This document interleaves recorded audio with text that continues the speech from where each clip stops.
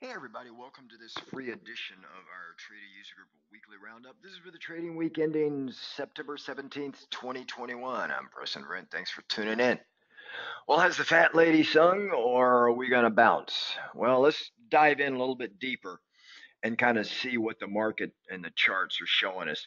First, let's just take a look at where we've been this past week. So what I want to do, uh, let's just take a look at each of the individual elements here. Let's first look at the index performance.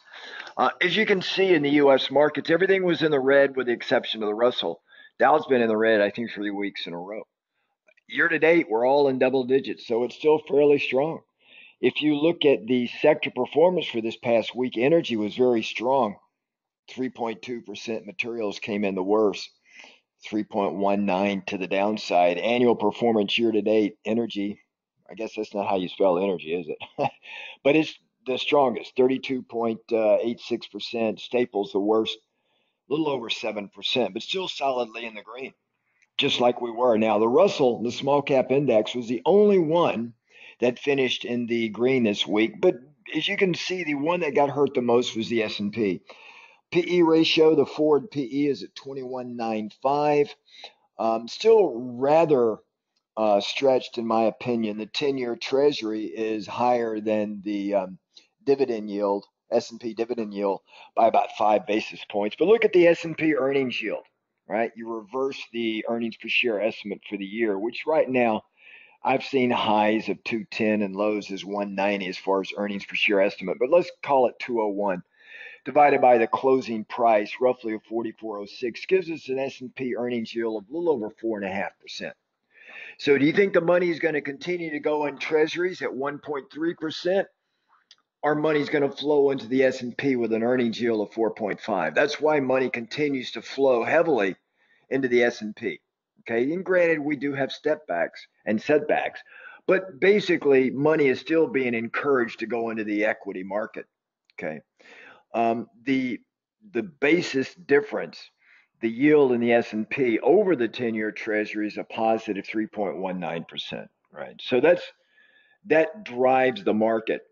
You can also see, and the calculation here is also wrong, but the VIX closed this week at 20.81. Last week it closed at 20.95. So even though we closed slightly in the red, with the exception of the S&P down a little bit more, uh, the VIX stayed relatively flat. So that tells me whenever the markets start going lower, always use a volatility gauge to just see is there fear in the markets or is just just a normal um, pullback. Okay, and if we kind of just break this out and let's take a look at the economic data. Well, looking at the economic data, we're getting some of the uh, sensitivity and sentiment. I mean, we got a number of things coming up, right? We got worries about the supply chain, elevated valuations, as I said also with the potential of tightening monetary policy. Keep in mind, we get the Fed FOMC meeting this coming Wednesday. Uh, we'll get uh, Boom Boom Powell out there talking about that. And we got something that could impact the markets, potential train wreck the end of this month with the Dems and the Republicans coming together to agree or not to agree on an annual U.S. budget deficit increase. Uh, last time we had shut the government down for a period of time, the markets fell a little over 4%. So I don't think I hear anybody talking about that right now. But from what I hear in the po- political front, I don't see any Republican willing to step forward. So um, it's going to be a battle royale in another couple of weeks. So, and that's on back of the stimulus plan that the Democrats are trying to get through um, the tax plan they're trying to get through to pay for the stimulus. So there's a lot of activity out there that could clearly move the markets a lot lower. Okay. Um, now, this past Tuesday, we did get the uh, Labor Department reported CPI increased uh, 10 basis points in August. Now, there uh, the markets were expecting a 30 point or 30 basis point increase, but it did still move up. So we're getting higher inflation. All right. Uh, we did get August retail sales um, jumped 1.8%. So the consumers are still spending, right? We're getting the consumer spending. I mean, that's a good thing. And if we look at the treasuries, um, you can see that, you know, while softer than expected inflation kind of eased investor worries about an expedited quantitative tightening process from the Feds. We did see solid manufacturing and retail sales data, as I just indicated. So these things are continuing to just slowly drive yields a little bit higher. I don't think yields are going to be as high as people think, but I do believe they're going to grind higher. Now, if we do get a crash, well, let me rephrase that. If we do get a little bit further pullback, and I'll show you the charts in a minute, then we may have the yields come down a little bit, but I would use that as an opportunity to go long interest rates or short bonds. Okay. Right now, though, the market's going to be heavily focused, as I said, this coming Wednesday's FOMC policy statement. And our very own Power Ranger Boom Boom Powell, that would be Jerome Power Ranger Boom Boom Powell, um, is coming out with his, in, in his press conference and there's going to be a lot of questions around quantitative tightening versus interest rate liftoff. And basically, the questions are going to concern when and at what pace. It's kind of where we're going to go, right? Now, of course, if we come over to Europe, take a look at the European, the theater, you can see just about, well, no, everything was in the red in Europe. The Euro stocks, the FTSE, the CAC 40 DAX, all in the red, solidly in the green year to date, however. Um, solidly in the green year to date but across over in the Eurozone, uh, Eurozone bonds also kind of moved a little bit higher along with US Treasuries this week. Um, the ECB this past week expects to meet their 2% inflation target by 2025. I kind of laugh at these really far out expectations. Keep in mind the US Fed's never gotten a, a forecast right further than six months out ever. They're always off sometimes substantially. So when I see these forecasts, it's just for press, it's for print, uh, but it doesn't really matter. Sometimes the market price action reacts to it. Okay. Um, inflation in the UK, meanwhile, moved up 3.2% in August. It's the highest level we've seen in nine years in the UK. So we're getting a lot of that pressure there. I think inflation is going to be a lot you know, and it's just it's a gray area. You're not going to see transitory versus sticky inflation. Some of it's going to be transitory, like some of the supply chain issues. Some of it's going to be sticky, right? I mean, I'm I'm seeing reports. There's about 65 vessels as of this past Friday just waiting to offload off the coast of California, one of the largest ports. The average wait day on a per vessel basis is about 8.7 days. That's slowing things down. And not only that, but the transit time is now on average for every vessel coming from China 71 days. It used to be 40 days. So, like an airplane, you know, when you're going from one city to another and a lot of thunderstorms, sometimes what normally is an hour and a half flight turns into two and a half hours because you're delayed on the ground, you're delayed in the air, and then when you land, you're delayed getting your gate. Same thing with logistics and boats. So that does have a tendency to jack up prices. The con- cost of containers have moved up from $4,800 a container back in 2007 to about um, 4,800 to $20,000 per container now. It is insane. A lot of these costs will not be passed along to consumers, but a lot of them will. So we've got some of this stuff that's going to disappear, but a lot of it's going to stay. Primarily wage hikes because it's hard to pull away a price increase or a wage hike you just can't do that. Some of the sticky stuff, uh, you just can't undo. But the transitory stuff, like some of the supply chain stuff, you can. But I think it's going to last longer than people think. Okay. Now, uh, look at the Asian markets. Nikkei, Japan is the only one that's in the green for the week. And year to date, they're up huge, 11%. That's big for Japan. Okay they're there's they're in campaign season when their president resigned and they've got a new president that's projected to win in the same party so that's why they can say this. And this guy i think it's Taro Kono has already come out and said that he supports more stimulus continuity and central bank policy blah blah blah i.e translation very very dovish.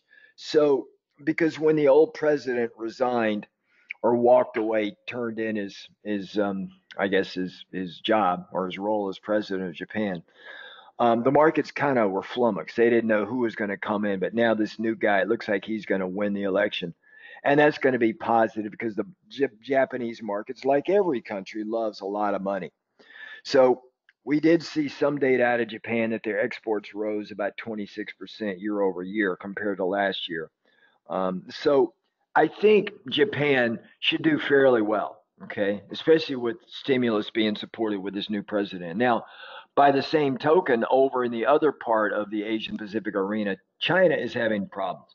They've got weak August economic data. They got new uh, uh, corona COVID outbreaks in the, the Fujian province. They got a huge debt crisis at the third largest property developer in all of China, that's Evergrande. There's a talk of could this spread and be a contagion effect to other developers, and because real estate's really bubblicious in China. Um, they've got a thread of China just came out. Xi has already undone a lot of their technology companies. He crushed them, right? Uh, Baba and Tencent, JD. A lot of those fell more than 50% a couple of months ago. They're still trying to bounce back, but I don't think they'll get back up there he's come out with tighter gaming regulations in Macau, so it's dampening investor sentiment there. Um, so you throw all of that together, and um, now everybody wants to see is China going to step up and help Evergrande um, because they right now their debt load's greater than U.S. dollars, 300 billion. So they're going to need to restructure, and just will China come in and save them or what? Right? They can't repay their latest bank interest note so there could be a huge liquidity crisis at the third largest. So these things have a tendency to spread. So we got to watch that really closely. And on the economic front, in addition to all of that, their August indicators were really surprisingly weak. You know, a lot of it with the shutdown with COVID and industrial output, retail sales, fixed asset investment, all of them missing expectations. In fact, retail sales had its lowest or slowest growth since 2020 of August. So China's got their issues. Hang Seng, which is kind of tied at the hip of China, not doing very well either. Uh, even though China is up year to date a little bit on a couple of uh, uh, supportive statements from the government a couple of weeks ago on stimulus, uh, it's just going to be very, very difficult. All right, just very difficult to play. So what I want to do, I'm just kind of giving you that quick backdrop. Let's go take a look at the charts here. Um, and let's just see how things are settling out. First thing I'm going to do is show you the key and primary chart. Now, I've been talking to this with our members and for you guys here on our free roundup for months now. And they're just now starting to pick it up in the press, the biz press, Barron's, Wall Street Journal, others. But we've been talking about it and focused on it. And what is that? That's the 50 EMA or the 50 moving average. Uh, it'll pop up on your screen here. You can see this red line. Notice we closed below the 50 EMA. Now, as we started pulling back, I said this is going to be the key test. Why is it going to be the key test? Well, I'm going to do it again for you guys, especially you guys that may not have seen this before. I'm just going to shrink it down, and I'm going to include the entire year uh, in this in this um, uh, chart right here. So on the far left-hand side of the chart, is the beginning of the year. Okay. And let me just widen it out so you guys can see just a little bit of everything. I'm just trying to space it out for you guys. So if we look at this, and this is for the entire year, over here, the red line, you can see we have not had two closes below the red line this year. In fact, the S&P has gone 218 days since we've had two red candles below the 50 EMA. This is a second longest streak since 1990, right? Now, I started picking up on this back in May, and we've been using this as kind of a is it a buy the dip moment or the or the buy the dippers coming in um, or is it going to roll over more the last time we broke this string we fell another 5% okay i will also remind you since march 23rd 2020 in the year 2020, we've had five pullbacks on average about 7.5% in 2020. This year, we have not had that. Okay, we've not had one 5% pullback. Now we've touched the 50 EMA, but look at the bar. Every time we either touched intraday or closed below the 50 EMA, the very next bar was a solid green candle. Every single time. Okay, every time. Every time. Now, right here, we close below the 50 EMA. So, as I've been telling our members, it's not where we close on Friday. And sure enough, we were down, you know, um, 56 points in the futures when the markets finally settled in for the weekend. 56 points. But look, we closed there below the 50 EMA. We closed there below the 50 EMA. We closed there well below the 50 EMA. And we closed there below the 50 EMA. So that is four, five times this year. Okay. Five times we've closed below the 50 EMA. And if you look at the very next bar, solid green taking us back over the 50 EMA and the buy the dip crowd came back in. We did have an intraday retest here about a week and a half, two weeks later, but it did not close below the 50 EMA. And again, a green bar the very next day, right? So these are all, and then all the ones that we went intraday below the 50 EMA right there. We touched the 50 EMA there intraday. Uh, we went below the 50 EMA here intraday. We went below the 50 EMA there intraday. Um, and we went below right there intraday. But at no time, two bars in a row. So this is for the entire year of 2021. So the key for us is where are we going to close on Monday? Okay.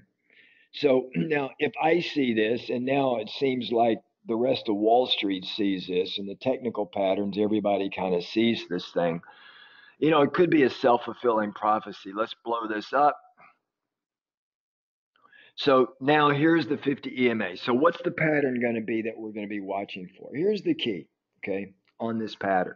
So we closed right here. All right, that was the close. The notice the 50 EMA has now got pretty much a flat vector. Okay, so if we were to look at history on Monday, we should close somewhere north of the 50 EMA. Whether where we close doesn't matter. We should close north of the 50 EMA. We could come back and retest the 50 EMA, but we should be north of it. to buy the dip crowd will take us back up above that key level, 44.72, and then we'll move up. And it could be a little choppy, but we'll move up. If on Monday we close below the level that we closed on Friday, Okay. Now I'm talking about where we close, not where we move during the day. It's important to look at the close, and we close below that. That'll be the first time this year. If that happens, you can pretty well bet the algos are going to fire off and assume we're going to go down further. How much further? The average uh, has been 5%. We saw that in September of last year, over a year ago, and we saw it in October on a retest, more than 5%. So what does that mean? And that's plus 5% from that point right there. Okay. So if we look at this and I were to just kind of put a, a marker on it, right, just to kind of show you, we closed down roughly from the highs a little over 3.1%. Okay. So if I move up to the 50 EMA at 2.8%, roughly, and we go another 5% down on, and I'm just pulling averages out, right? That puts us at 7.82%. So where does 7.82% fit should we get two bars in a row that um, the second bar not being a green bar, but being a red bar, and we go even lower? Where would the 7.2% roughly take us? All right. So let's just kind of go in here and just give us a little bit of a marker, right? So right here at the at the 50 EMA, it's roughly about 2.82. So let's call it 7.8. Uh, let's call it 8% round numbers. So if we come down here at about 8% round numbers, it puts us down around the 4184. So call it 4200 to 4175 range. Now, notice the 50 or the 200 EMA, which is a longer term support point. It's got an upward vector to it, so it'll be up just a little bit, but that puts us right around 10%. So a correction territory, which as you guys should know is 10% or more. If we fall below the, if we fall to the 200 EMA, that would give us about a official correction from the highs up here. Okay, a little bit of an official correction, um, and if we fall the average that we've seen since the move higher off the COVID lows, that'll put us around the 4,200, 4175 area. Okay. So that's what we're going to be looking for. It is simple as that. Now, understand on Wednesday, we got the Fed coming out. They have so far been dovish in every session.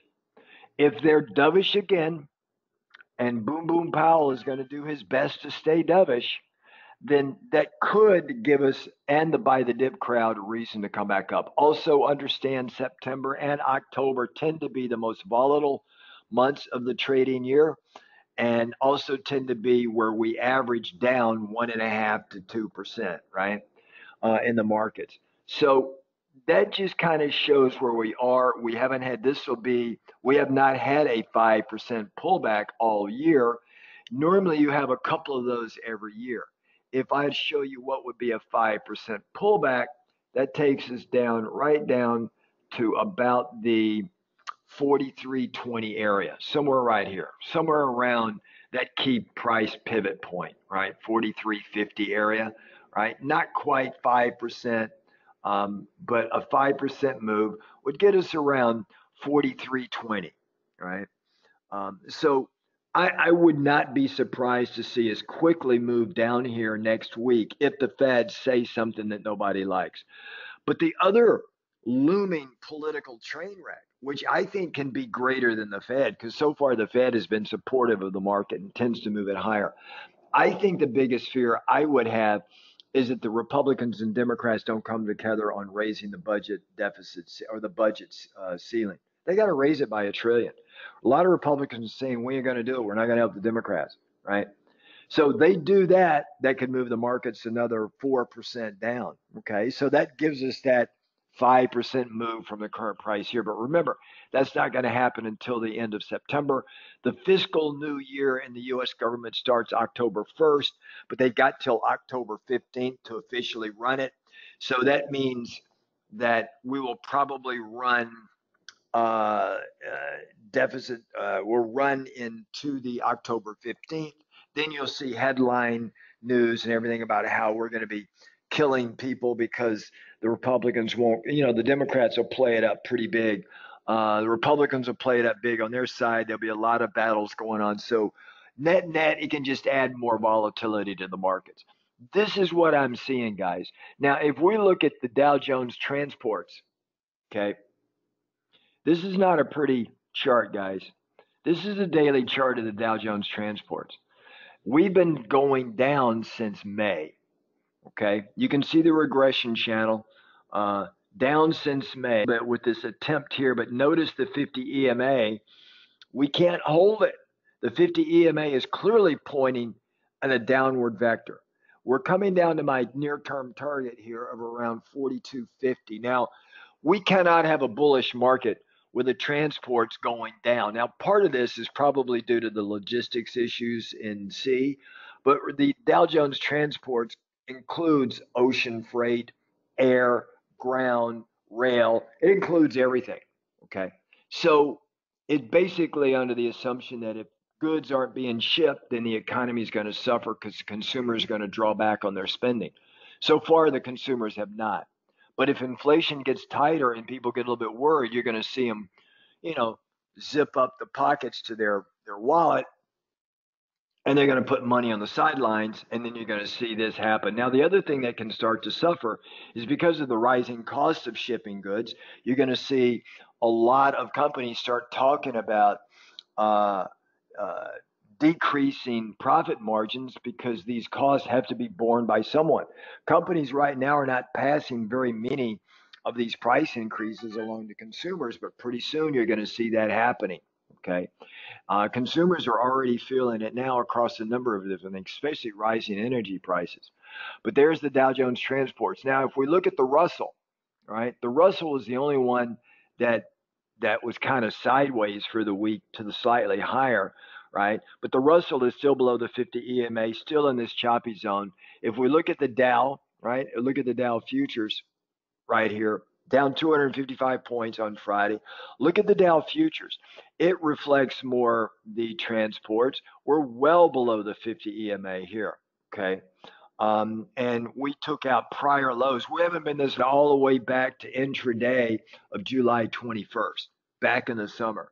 So I'm expecting some more downside near term.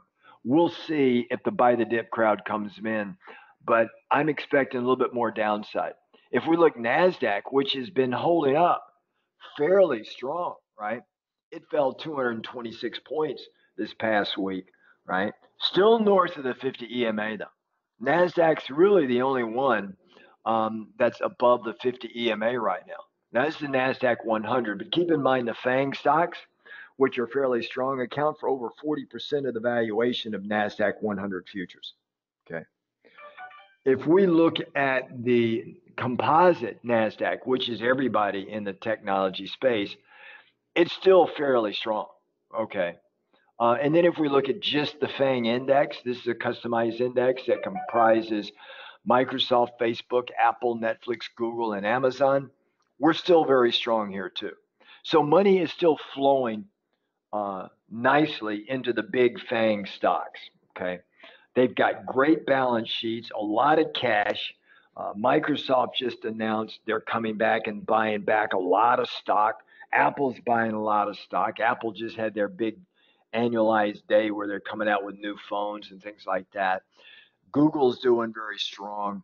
Uh, YouTube revenue in Google is almost caught up to all of Netflix revenue. That shows you how big YouTube is. So all of these, uh, the only danger I see in these, but it's more longer term than near term, is just break up by the government. Right. That's the only thing I see is this kind of keeping these uh, a lid on them somewhat, but not too much. Okay. If we look at emerging markets, um, you can see here just how ugly it is. It's it's you know we're down uh, a pretty good little bit in emerging markets. You can see the all-time high. Well, the all-time highs this year for emerging markets. So you'll see if I were to highlight it, we're in official correction territory. We're down about 11.85% in emerging markets. All right. So we're in official correction territory there. And keep in mind, Dow, about 65, 68% of the total profits in the Dow come from offshore. So that's why the Dow is suffering probably more so than NASDAQ, the S&P, um, or the Russell. Or the Russell is, and one thing about the Russell that you guys may not be aware of, we've already hit official correction territory in the Russell, and that only happened just um, back in July. We were officially in correction territory at the bottom of this uh, area several times. So there, what I call this safety zone here, where buyers tend to step in at the bottom, sellers tend to step in at the top, but we have not busted out yet. Okay. If we come down here and we look at volatility, well, the VIX obviously uh, moved up this week, right? We're in the red zone here, which I classify as down fast markets as opposed to choppy markets. You know, and Friday was clearly that. But keep in mind, this move lower, guys, and I've told our members, it's an orderly market, meaning we've moved lower, but in an orderly fashion. We haven't had these huge spikes, okay? And then it spikes up and then spikes down again. So volatility, while higher, isn't really that bad compared to past spikes, as you can see, where we've been up over 30 or sometimes over 40. You can see these spikes, but they don't last very long. If we do get that pullback like we got, you'll see here in September, we got up over 37. And then the second, the retest of that uh, spike took us to 40 in the VIX. Folks, we're only at 20 now. So if we get that 10% pullback, we're going to get a spike up over 30 for sure in volatility. It's going to happen very quickly because vol doesn't just grind higher, it moves very quickly.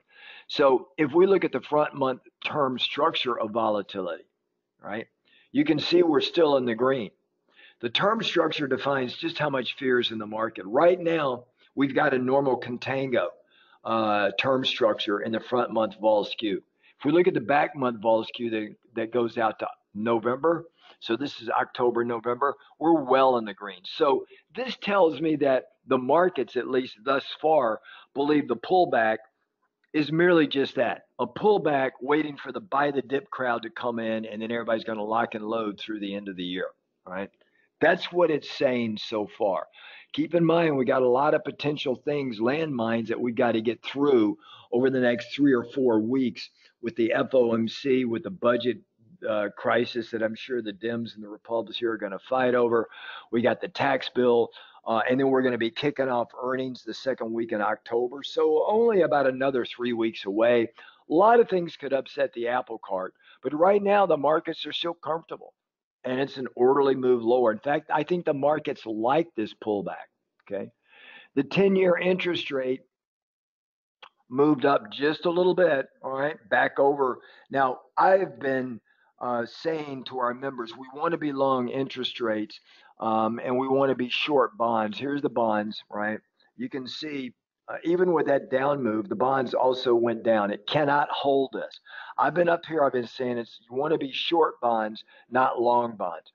There will be days like this, like the song, where the equity markets are down and bonds are down. Bonds are inversely correlated to equities. When equities go down hard, bonds go up because it seeks safety in the bond market. There's going to be periods of time when bonds are down hard and equities are down hard. Okay. And that's going to move interest rates higher, which makes the equity market even more uh, uh, volatile to the downside. Okay. Because there'll be no place for money to hide. You go in equities, you lose money, it's going down. You go in the bond market, you're losing money because the bonds are going down. So what happens is you see a lot of money going to the sidelines into cash instead of in the bonds. And that's kind of what's causing some of this right now, waiting for that shoe a drop and the buy the dip crowd comes back in. Okay. Same thing with the US dollar. In times of stress, people tend to go into the dollar. Look at this. We've had stress. The dollar has been moving higher, but I'm still believing in the dollar is going to go longer, longer term, uh, and you want to be long the euro. Now, if you look at the euro, it's going long, uh, short right here are going down. Because remember it's the dollar index. So the dollar moves opposite the euro is about almost 58% of the value of the dollar index okay? So wherever the euro goes the dollar tends to go in the opposite direction. But longer term i think the euro is going to go higher okay? Um, if we come over here and we look at gold i think gold right now is kind of a dead trade. You can see it broke down. It's broken down before. So this just tells me that gold wants to go lower and settle in down here. Typically this pattern, guys, which is a symmetrical triangle, typically breaks to the upside. But there's just no believers in gold right now. Okay. Um, and I think Bitcoin has kind of stole some of the luster of gold and you're seeing it come down. But longer term, I'm still a believer that gold will get back up over a couple of thousand. I'm not one of these gold bugs that think it's going to be over four or five thousand. I mean, if we get there, a lot of other crap is going wrong. But I do believe gold will be over 2,000, but just not right now.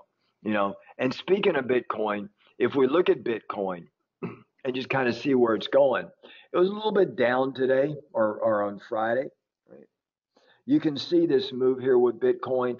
I think it's going to chop around here. I think near higher rather than lower, but it's going to have a hard uh, uh, move to get back up over 52,000 roughly is kind of where it hit its Waterloo and started coming back down again. For members, we got a nice way to play Bitcoin, which is really good for us. So um, we'll kind of review that this this Sunday in our weekly market watch. And if you're not in, I highly encourage you guys to come in because we're doing uh, well with some of the strategies that we're doing. Now, getting back to the metals market, not precious metals, but industrial. Look at copper. Copper is giving it up a little bit more. It attempted to regain that upsloping trend line, which it's been on going all the way back to the COVID crash and then we just rode that all the way up. That was one of the uh, assets that I had put our members into or suggested they go this way. And it's just been very strong. But now you'll notice it's gotten very choppy up here. And I think there's going to be some profit taking. And I can see it even going down a little bit lower for a bit before things settle in and we start another upward uh, uh, move. Keep in mind that it, that an EV automobile, electric vehicle, takes 40% more copper than a gasoline um, auto powered automobile. And there's just, you can't just open a copper mine that quick. So over time, copper is going to drift and go higher. But you know, week to week, month to month, there's going to be chop and profit taking. But longer term, it's a good long term play, which is what I like here and the way we're kind of playing this thing. Okay. And of course, if we look at energy and oil, um, it did move down just a little bit on Friday, oil futures, but I do believe that it's going to kind of chop around here. We hit this peak over here at 76.98 WTI futures. And I said, fade the move. There was the move lower. We've moved out of it. So this tells me there's a change in pattern. Okay. And that means we're going to be kind of running sideways chop, slightly up. And, you know, I had suggested here condors or put condors while it was going lower, taking profits and then maybe switching to just all called condors or iron condors for that matter, but be a little bit uh, skewed uh, to the upside right now in the oil markets. All right, everybody. Oh, one other thing I wanted to show you here Nat gas. Um, man, oh man, oh man. Nat gas, once it got up here, remember what I told you guys, just do a tight spread. Uh, I was pointing our members in this direction. If we do get a move higher in nat gas, uh, I'm going to sell, sell that one because I think nat gas is going to wind up back down here. It shouldn't be up this high, right? Uh, there's a lot of reasons why it's up this high. One primary one is a short-term reason. You got the uh, tropical storm and the Hurricane Ida and tropical storm hitting the uh, uh, northeast coast or southeast coast of Texas, uh, Louisiana, all the oil fields, derricks, everything down there have been, you know, shut down for a few weeks. So that does cause a temporary stoppage. Um, but I do believe they'll be able to sort that out. Nat gas will remain high, just not this high. All right, everybody, that's kind of the weekly roundup here, real quick. Members, I will see you this Sunday evening for our weekly market watch. If you're not a member, highly encourage you to come in and join us. We're having a lot of fun. Okay.